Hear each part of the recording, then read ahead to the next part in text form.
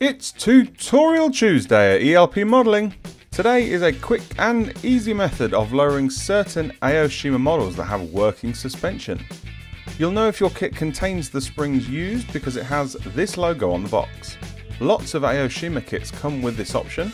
If you check the description box I have listed some of the kits off the top of my head and I welcome any comments left on the video of which Aoshima kits have this option and I'll update the list to include them.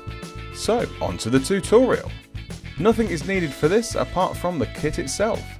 Now for this I'm using the Toyota AE86 Trueno Initial D version. There is a link at the top right of your screen now for the unboxing of that if you want to see. Now when you're assembling the chassis the instructions will of course tell you where to put the included springs. All you need to do is to not fit the springs at all. This will lower the car by quite a bit too. Now if you want the car to sit in between the standard ride height and the lowest setting, there are two options to do this. You can cut part of the suspension off where it goes into the wheel well and cover the hole with a piece of styrene, or you can make your own springs from thin wire wrapped around a screw. It's as simple as that. I'll be showing you guys how to make your own fully adjustable coilovers, like the ones shown on another tutorial as well. If you want to learn how to lower a car by any manufacturer, there is a link at the top right of your screen now. Hope you've enjoyed this tutorial Tuesday everyone. I'll see you online at elpmodelling.com, Facebook and Instagram. Keep modelling, and I'll see you in the next videos. Take it easy. Bye bye.